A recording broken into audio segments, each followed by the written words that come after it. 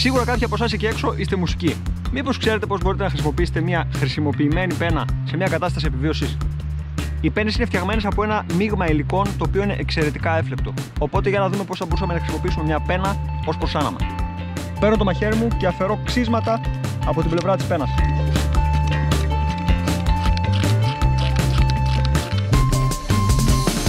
Αφού έχουμε μαζέψει μια ποσότητα ξύσματων, παίρνουμε τον άξονα πυροφόρου κράματο και θέλουμε απλά να ρίξουμε μια σπίθα πάνω στα ξύσματα. Πριν το κάνω αυτό, θέλω να έχω προετοιμάσει όλα τα υλικά για τη φωτιά μου, γιατί μιλάμε για ένα προσάναμα το οποίο ανάβει πάρα πολύ εύκολα, αλλά κρατάει πάρα πολύ λίγο.